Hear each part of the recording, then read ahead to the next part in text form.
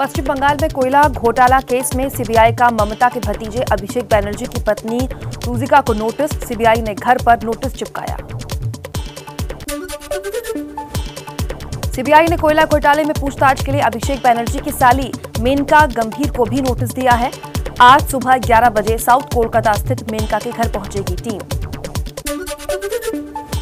CBI के notice पर अभिषेक बैनर्जी का ट्वीट लिखा। पत्नी को सीबीआई का नोटिस मिला है। हमें कानून पर पूरा भरोसा है। उन्हें लगता है कि हम डर जाएँगे तो गलत सोचते हैं। हम वो नहीं जो झुक जाएँगे।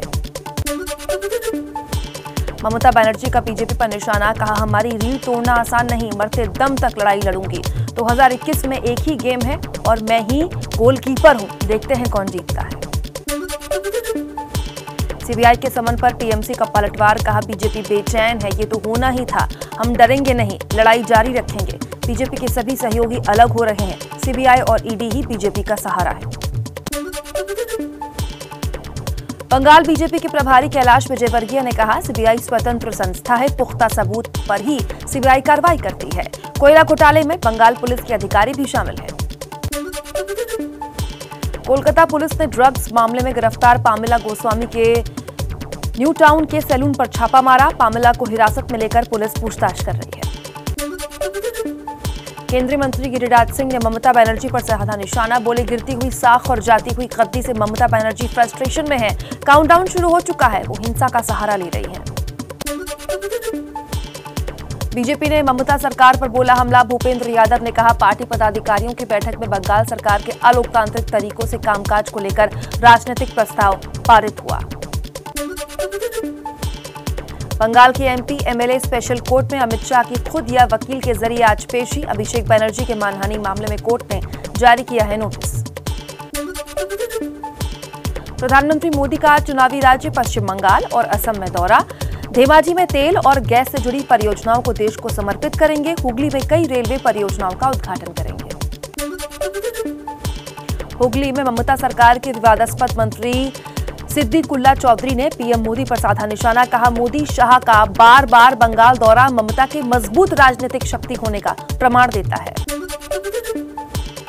किसान आंदोलन का आज नब्बेवा दिन है। हरियाणा के सोनीपत में किसानों की महापंचायत में राकेश टिकैत, गुरनाम सिंह चढ़ूनी शामिल होंगे कृषि मंत्री नरेंद्र तोमर का किसानों को लेकर एक बार फिर से बातचीत का न्योता कहा, किसान, पहले बताएँ कि उनको विरोध किस बात पर है? सरकार समझने और संशोधन की चर्चा के लिए तैयार है, लेकिन भीड़ इकट्ठी करने से मुद्दे का हल नहीं होता। सरकार की बातचीत की पेशकश पर बोले योगेंद्र यादव, कहा, हमने पहले ही दिन से कहा है कि बातचीत से कोई परहेज नहीं, आंदोलन को तेज और मज़बूत करना ही हमारा काम है। बीजेपी के उपाध्यक्ष रमन सिंह ने किसान आंदोलन पर साधा निशाना, बोले, देश के किसान नए कृषि कानून से खुश हैं। आंदोलन कांग्रेस और लेफ़्ट पार्टियों की साजिश से पारित हुआ। किसानों के बहाने यूपी में राजनीतिक ज़मीन तलाशने की कोशिश में जुटे हैं केजरीवाल। दिल्ली विधानसभा में यूपी के किसान नेताओं से मुलाकात की। 28 फरवरी को मेरठ में किसान पंचायत में भी शामिल होंगे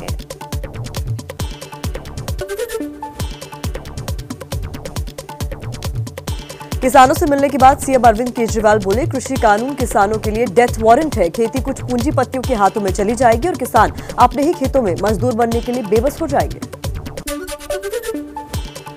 आम आदमी पार्टी के नेता संजय सिंह का बयान, बोले, सरकार अपनी जिद पर अड़ी हुई है। किसान अंतिम दिन तक आंदोलन करेगा। पार्टी पूरी तरह से किसानों का साथ देगी।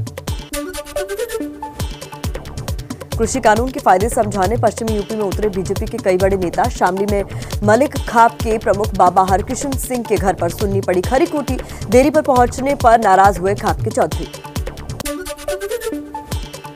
केंद्रीय मंत्री संजीव बालियान की अगुवाई में पहुँची टीम को विरोध का सामना भी करना पड़ा। गाँव के लोगों ने टीम को घेर कर नारेबाजी की। राजस्थान के किसान बहुल इलाकों में कई महापंचायतों के आयोजन की तैयारी। आज हनुमानगढ़ की महापंचायत में शामिल होंगे राकेश टिकैत समेत कई किसान नेता। हरियाणा के जींद में राकेश टिकैत के बयान का असर गुलकनी और राजपुरा में। कई किसानों ने गेहूँ की फ़सल पर चलाया ट्रैक्टर, कहा, खुद के खाने लायक फ़सल को छोड़ बाकी को नष्ट कर दिया। गेहूँ कटाई के चलते किसानों ने आंदोलन के लिए खोजा नया तरीका, लगाई एक एक हफ़्ते की शिफ्ट, दिल्ली की सीमाओं पर ट्रैक्टर ट्रॉलियों की बजाय निजी गाड़ियों से पहुँच रहे किसान। पंजाब के बरनाला में किसान मजदूर एकता महारैली में बड़ी संख्या में पहुँचे लोग, गर्जे किसान नेता, कहा बीजेपी की साजिश फेल हुई, लाल किले पर तिरंगे की कोई बेअदबी नहीं हुई। गाजियाबाद की महापंचायत में किसानों ने लगाया ज़मीन पर जबरन कब्जे का आरोप। कहा, किसानों पर फर्जी मुकदमे हो रहे हैं। केस वापस ले सरकार, नहीं तो नया आंदोलन खड़ा होगा। एमपी के रीवा में किसान आंदोलन की आर्थिक मदद के नाम पर वसूले जा रहे थे पैसे। आरोपी को किसान मोर्चा के नेता ने पकड़कर पुलिस के हवाले किया। केरल दौरे पर कालीकट पहुँचे कांग्रेस के पूर्व अध्यक्ष राहुल गांधी। आज वायनाड में ट्रैक्टर रैली समेत कई कार्यक्रमों में शामिल होंगे।